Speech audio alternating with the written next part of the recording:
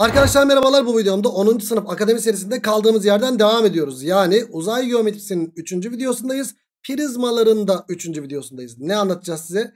Kare dik prizmayı anlatacağız dostlar. Evet pdf'i videonun açıklama kısmındaki linke tıklayarak ulaşabilirsin ama uzay geometrisi pdf'ini indirdiysen sıkıntı yok. Onların hepsi aynı pdf'teydi. O yüzden pdf önünde hazırsa sen de hazırsan. Hadi bakalım dersimize başlayalım. Kare dik prizma. Evet tabanı kare olan prizmaya biz ne diyoruz? Kare dik prizma adını veriyoruz. Taban A A olacak şekilde bir kare ise eğer yükseklikte H ise eğer ve sen dikdörtgenler prizmasını biliyorsan eğer kare dik prizmasında herhangi bir sıkıntı yaşamazsın zaten. Evet tabanı kare olacak dedik. E o zaman en önemli şey hacimden başlayalım. Hacim nedir? Taban alanı çarpı yükseklik yani a kare çarpı h. Evet burada Nerede yazmış? Şurada yazılmıştır. Evet hacim a kare çarpı h. Peki alan nedir diye soracak olursanız da hocam alan taban alanları artı taban alanları a kareden kaç tane var? 2 tane var. a kare artı şuraya yazıyorum alanı da arkadaşlar.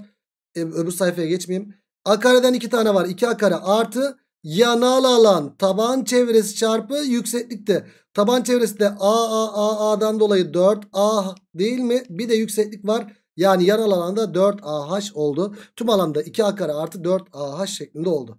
Başka neden bahsedebiliriz? Hocam yüzey köşegeni. Yüzey köşegenin bir tanesi AA iken A kökü oluyor. Bir tane yüzey köşegeninde şu oluyor. A kare artı H kare oluyor karekök içerisinde. Cisim köşegeninde bunu da CK yazayım. Evet CK aklıma şey geldi coğrafyanın kodları geldi. Buradan Yunus hocama selamlar eğer duyuyorsan.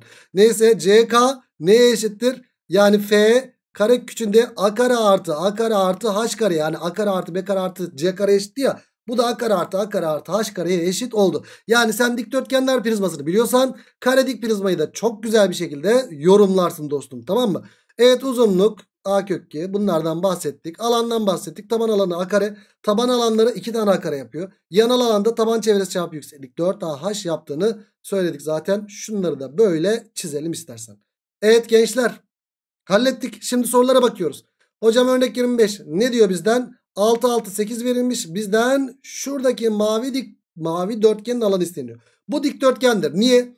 Ta ilk videoda birinci videoda anlattım ya sana. Bu düzleme dikse bu düzlemden geçen bu doğruya da diktir. Bu da düzleme dik ya. Buraya da diktir. Burası da diktir. Burası da diktir. Yani ne çıktı burada? Bir dikdörtgen çıktı. 6 8 10 üçgeninden burası 90 derece ya. Burası 10.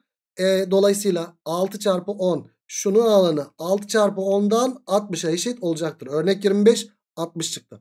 Geldik örnek 26'ya. Hocam bir uzunluk soruluyor. E ne yapacağız? Bu uzunluğa karşılık bir dik üçgen elde edeceğiz. Nasıl elde ediyorduk? Yüzeyden bir tane çiz. Al yüzeyden bunu çizince. Bak bu düzleme dik bu. Hocam burası 90 derece. Yani burada bir dik üçgen karşımıza çıktı mı çıktı.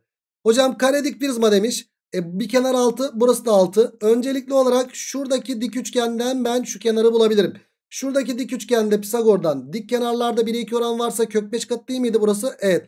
Burası 3 kök 5 olur. Sonra burada bir Pisagor bağıntısı yapacağım. X de neye eşit olacaktır? Karesi artı karesi ya da dik kenarlarda 1'e 2 oran var. Yani küçük olanın kök 5 katı. 3 kök 5'in kök 5 katı nedir? Kök 5 ile kök 5'in çarpımı 5 olduğundan 3 kere 5 15 yapar. Evet örnek 26 15 oldu. Geldik örnek 27'ye. Şekilde açınımı verilen kare dik prizmanın açınımı için Kare dik prizması için açınımı çevresi açınımının çevresi daha doğrusu bu verilmiş. 30 birim verilmiş. Arkadaşlar kare dik prizma olduğu için tabanlar kare AA. Burası da A. Burası da A. Burası da A. Burası da A. Burası da A. Burası da A. Burası H. Burası A. Burası A. Burası da A olduğunu söyleyebiliriz.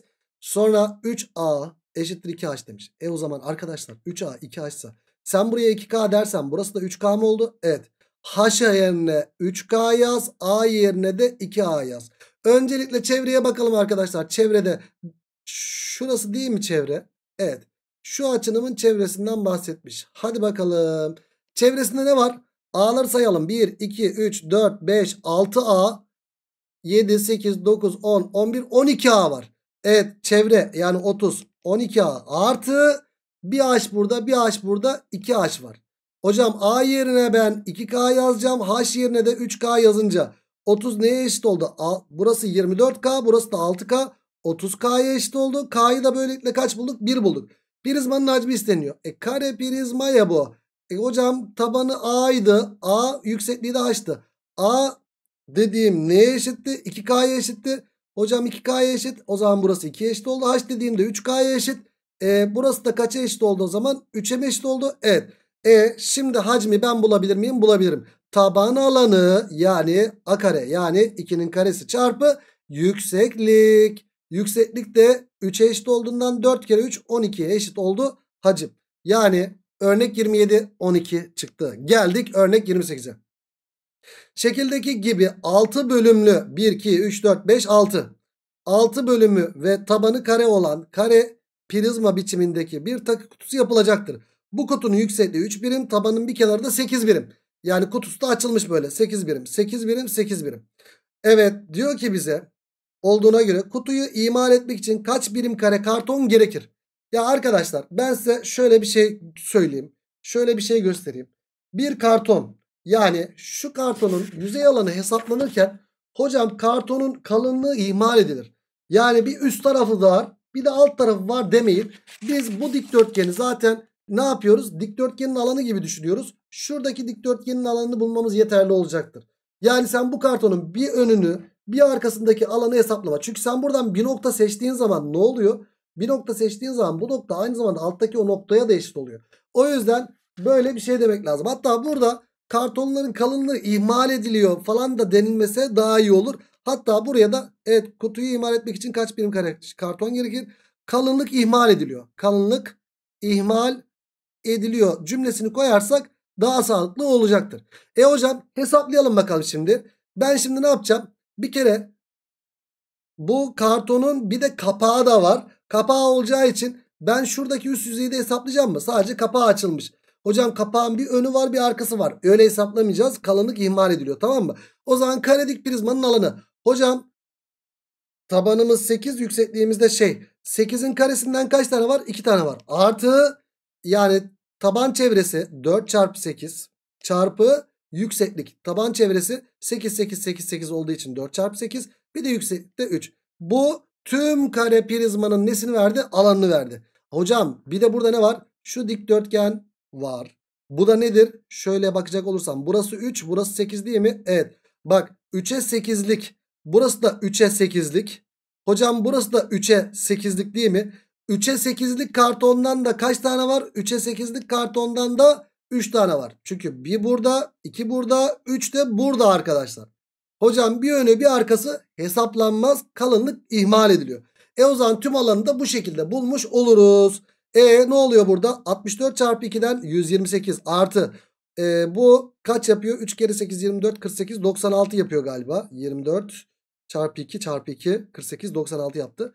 Bu da kaç yaptı? 72 mi yaptı? Evet. Şu ikisinin toplamı 200 yaptı ve cevap da kaç yapıyor o zaman? 296 yaptı arkadaşlar.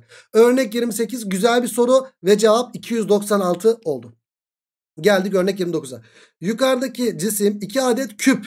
Arkadaşlar 2 adet küp ya A A her kenara A. Daha küpü görmedik ama küpü biraz tahmin edebiliyoruz.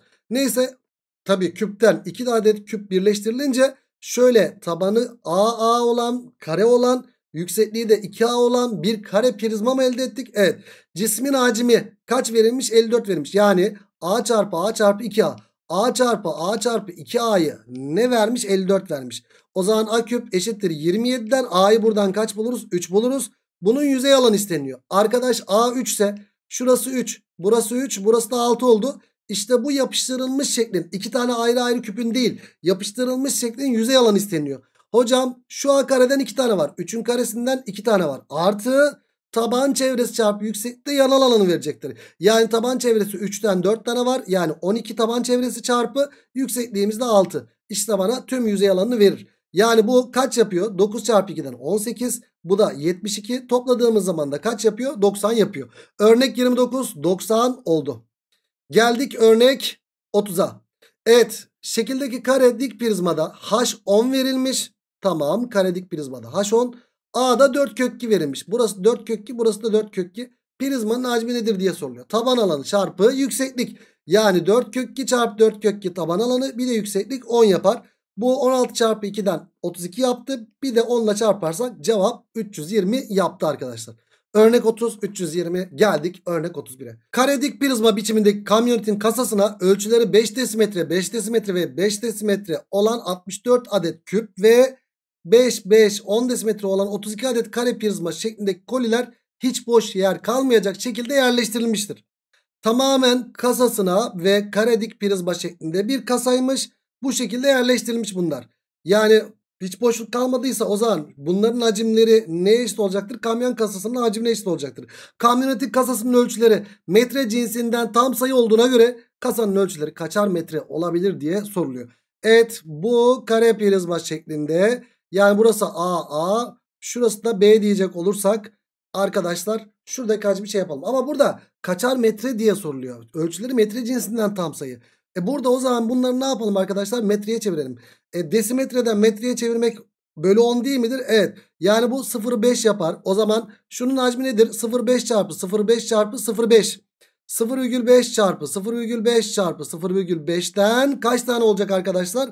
64 tane olacak. Artı bir de bu da desimetreye çeviriyorum. 0,5 çarpı 0,5 çarpı bir sıfır atınca bu da 1 yaptı. 1 metre yaptı. Çünkü e, 1 metre 10 desimetre 10 desimetre de 1 metre yapıyor. E, o zaman burası 10 desimetre 1 metre yaptığına göre 1 yazdık. Bu da çarpı 32. Bundan 32 tane neye eşitmiş? A çarpı A çarpı B'ye eşitmiş. Kamyon kasasının hacmine eşitmiş. Peki hocam bu 1 bölü 2.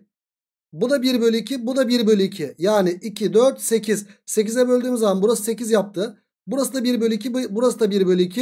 E, 2'ye bölsen 16 bir daha 2'ye bölsen kaç yapıyor? 8 yapıyor. Bu da 8 yaptı. A çarpı A çarpı B'ye eşit oldu. Yani buradan ne geldi arkadaşlar?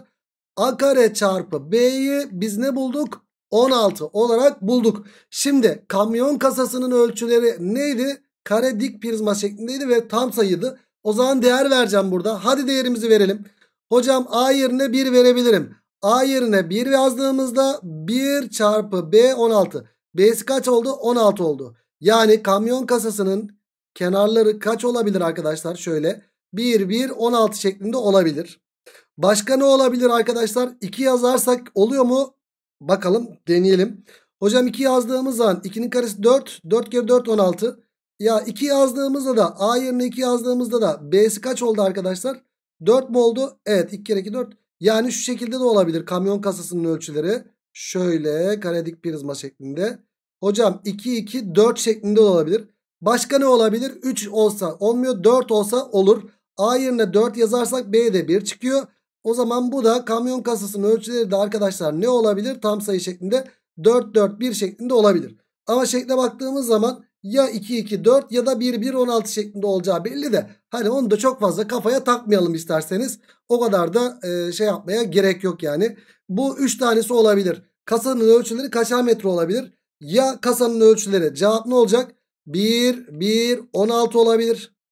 Ya da 2 2 4 olabilir. Ya da 4 4 1 olabilir arkadaşlar. Hepsinin de hacmi 16 yapıyor. 3 tane cevap var bunun. Haberiniz olsun. Güzel bir soru mu? Soru. E, buradaki kutuların hacmiyle kamyon kasasının hacmini eşitlemiş oluyoruz. Evet böylelikle arkadaşlar bir şeyi bitirmiş olduk. Karedik prizmayı bitirmiş olduk. O zaman ne diyoruz? Bir sonraki videoda yani küpün konu anlatımında görüşmek dileğiyle kendinize iyi bakın. Hoşçakalın.